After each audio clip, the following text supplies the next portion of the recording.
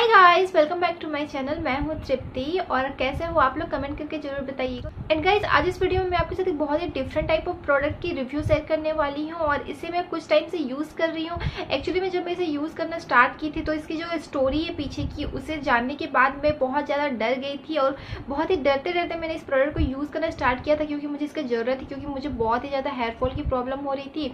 बाल बहुत ही ज़्यादा पतले हो रहे थे, इसलिए मैंने इसे यूज़ करना स्टार्ट किया था क्योंकि मैंने बहुत सारे रिव्यूज़ देखे हुए थे। एक्चुअली मैं एक वायरल एक वायरल वीडियो में मैंने इस ऑयल को देखा था और उसके बाद मैंने सोचा कि इसे मुझे ट्राई करनी है।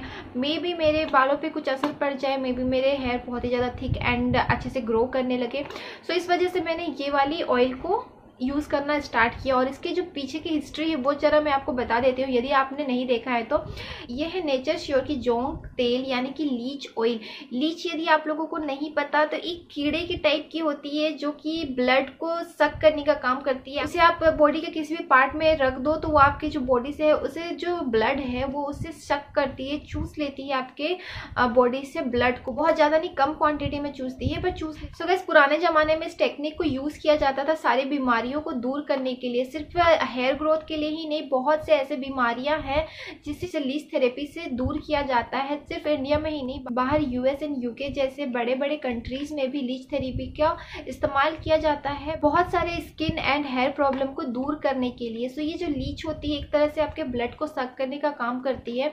तो पुराने टाइम पे ऐसा किया जाता था गाइस यदि हमें हेयर की प्रॉब्लम होती थी बैलनेस की प्रॉब्लम होती थी तो लीच को आपके सर पे रख दिया जाता था। वो आपके सर पे जाकर के ब्लड को सक करती थी जिससे जो स्कैल्प की ब्लड सर्कुलेशन है, वो इम्प्रूव होती थी और उसके बाद हेयर की ग्रोथ अच्छी होने लगती। तो इस टेक्निक का इस्तेमाल पुराने ज़माने से किया जा रहा है बट मुझमें मुझमें बिल्कुल भी ये हिम्मत नहीं है कि मैं वैसी टेक्निक को इस्तेमाल करूँ या फिर मुझे पता है आप में भी नहीं होगी कि इतने बड़े से कीड़े को जो आपके सर पे जा करके आपके स्कैल्प पे जा करके आपके ब्लड को सक करे वो मैं बिल्कुल भी बर्दाश्त नहीं कर पाऊँगी। मुझे कहीं अटैक ना आ जाए यदि मेरे साथ ऐसा हुआ तो। तो ये तो हम बिल्कुल भी नहीं कर सकते हैं गाइज़ इसलिए ऐसी बिल्कुल भी हमारे लिए पॉसिबल नहीं है।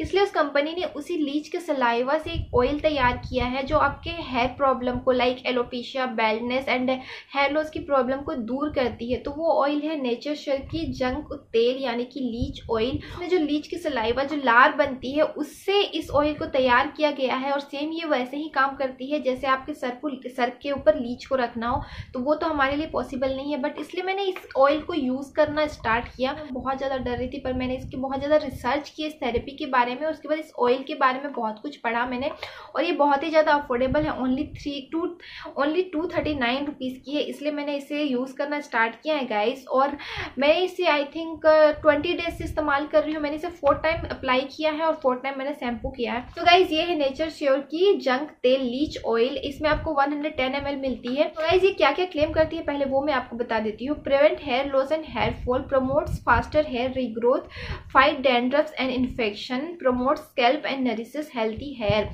so so guys इस ऑयल को इस्तेमाल करने से आपकी hair loss and hair fall की प्रॉब्लम खत्म हो जाएगी। ये आपके डेंड्रफ को भी रिमूव करेगी, साथ ही कोई भी इन्फेक्शन है, खुजली वगैरह की इन्फेक्शन वगैरह की कोई भी प्रॉब्लम है तो उसे भी दूर करेगी। आपके स्कैल्प में ब्लड सर्कुलेशन को इम्प्रूव करके उसे हेल्दी बनाएगी एंड साथ ही उसे नरिश करेगी। से आप फास्टर हेयर ग्रोथ भी पा सकते हो इसके रेगुलर इस्तेमाल से। एंड अब मैं आपको बताती हूँ इसे यूज़ कैसे करना है how to use before going to sleep apply Nature Sure junk leech oil on the roots of your hair and scalp massage gently for fifty minute with your fingers leave it for night and wash your hair with यूफोम water to next morning तो मैं भी ऐसा ही करती हूँ, अभी तक मैंने four times इस्तेमाल किया है। एंड इसके इसके बारे में और भी थोड़ी जानकारी आपको दे देती हूँ। Nature junk leech oil is a miraculous therapy for cure of hair loss hair fall dandruff and other hair related problem made of hundred percent pure ingredient Nature Sure junk leech oil is highly effective in hair regrowth and preventing other hair related diseases with its curative properties Nature Sure junk leech oil is a helpful in treating alopecia and other form of wellness the regular use of junk leech oil help prevent hair loss promotes hair regrowth and nourishes the scalp and hair soft so guys जैसा कि मैंने आपको बताया, ये आपके hair fall को कम करती है हेयर लॉस को कम करती है, आपके स्केल्प को नरिश करती है, कोई भी डेंड्रफ इचिंग की प्रॉब्लम है तो उसे भी रिमूव करती है। साथ ही आपके ब्लड सर्कुलेशन को बढ़ाती है इंप्रूव करती है, जिससे कि आप जल, जिससे कि आपकी हेयर ग्रोथ बहुत ही ज़्यादा फास्ट होती है और आपके हेयर आपकी हेल्दी हेयर की रीग्रोथ होती है। तो मैं ये तो नहीं बोलूँगी कि मेरे हेयर की रीग्रोथ हुई है, बहुत ही फास्ट हुई है, ऐसा तो नहीं हुआ है बट इसे मैंने फोर टाइम इस्तेमाल किया, पर तीसरे टाइम के इस्तेमाल के बाद मुझे ऐसा फील हुआ कि जो मेरे हेयर फॉल की प्रॉब्लम है, वो थोड़ी कम हो गई है। लाइक जब मेरे फिफ्टी या सिक्सटी हेयर फॉल होते थे, वो ट्वेंटी टू थर्टी हो गए मतलब हाफ़ हो गई है थ्री टू फोर इस्तेमाल में ही। तो ये मैं आपको बोल सकती हूँ। अब मैं इसे रेगुलर इस्तेमाल करने के बाद आपको आगे अपडेट दूँगी इससे मेरी रीग्रोथ हो रही है नहीं हो रही है हेयर की बट मेरे हेयर में हल्की साइन आने लगी है। हेयर थोड़े सॉफ्ट हो गए डेंड्रफ की प्रॉब्लम थोड़ी कम हो गई है बिकॉज़ ठंड के कारण बहुत ज़्यादा डेंड्रफ की प्रॉब्लम हो गई थी तो वो थोड़ी कम हो गई है। बट रीग्रोथ अभी तक मुझे नहीं नज़र आई है। जैसे ही मुझे ऐसा फील होगा कि हाँ इससे रीग्रोथ भी होती है तो मैं इसकी अपडेट ज़रूर करूँगी आपको।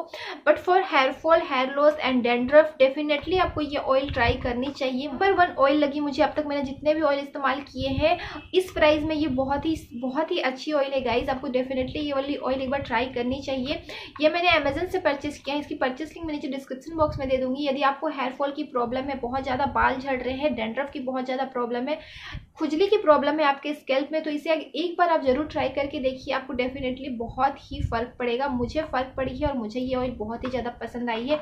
इसके स्मेल के बारे में बताओ। तो इसकी स्मेल थोड़ी सी घटिया है, जैसे कि मैंने आपको बताया जंक जंक लीच की सलाइवा से बनी हुई है ये तो थोड़ी सी इसकी स्मेल अच्छी नहीं लगती है बट थोड़े टाइम के लिए like ten to fifteen minute के लिए ही ऐसी है। उसके बाद आप चाहो तो सावर कैप से अपने सर को कवर करके सो जाओ तो उससे आपको कोई फ़र्क नहीं पड़ेगी बट थोड़े टाइम जब आप इसे ओपन करते हो तो इसकी स्मेल थोड़ी बहुत ही गंदी टाइप की स्मेल आती है तो बहुत ही अजीब सी स्मेल है। बट इसके रिज़ल्ट बहुत ही ज़्यादा अमेजिंग है गाइज़ आपको डेफिनेटली ये वाली ऑयल एक बार ट्राई करनी चाहिए टू थर्टी नाइन रुपीज़ है। इसमें भी आपको डिस्काउंट मिल जाएगी टू हंड्रेड के समथिंग टू हंड्रेड समथिंग में मिल जाएगी तो आप इसे ज़रूर से ज़रूर ट्राई करना। यदि आपको हेयर फॉल की प्रॉब्लम है तो मैं मैंने यहाँ पे सोचा मैं इसे टू थ्री मंथ तक लगातार यूज़ करूँगी और देखूँगी कि मुझे रीग्रोथ हो रही है या नहीं हो रही है। उसके बाद मैं इसे अपडेट करूँगी। पर फॉर हेयर फॉल आप डेफिनेटली इसे ट्राई कर सकते हो। मुझे ये ऑयल बहुत ही ज़्यादा पसंद आई है तो आप भी इसे एक बार ज़रूर ट्राई कर सकते हो, क्योंकि बहुत ही अफोर्डेबल की रेंज में लाइक ऐसे नहीं है थाउज़ेंड तक टू थाउज़ेंड रुपीज़ की है।